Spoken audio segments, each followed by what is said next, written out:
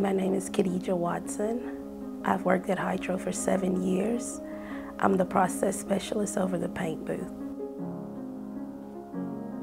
The meaningful moment to me was when Rick Stevens and Todd McClone pulled me into each one of their office to talk to me about leveling up in my career.